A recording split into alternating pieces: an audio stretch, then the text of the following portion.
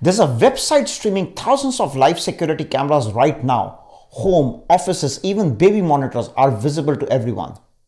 Hi, I'm Vineet Love. I've spent 20 plus years in tech and cybersecurity working with some of the world's biggest companies and I have had the front row seat to major breaches. Now I share those lessons with you so that you and your family can stay ahead of the threat.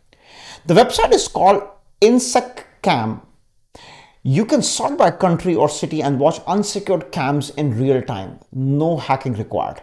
How that's possible? Default passwords like admin or no password at all Many cams are put online with open ports and they are never locked.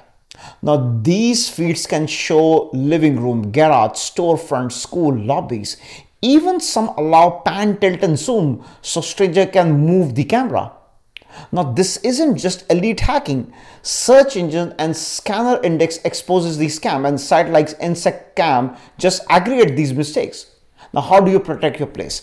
Change the default password, unique and long update the firmware on the camera and the router, disable UPnP and avoid port forwarding. Put cameras on guest or IoT Wi-Fi. Turn two-factor authentication on camera's cloud app. And for indoor cameras, use lens cover when you don't need it. Your camera is a window to your life.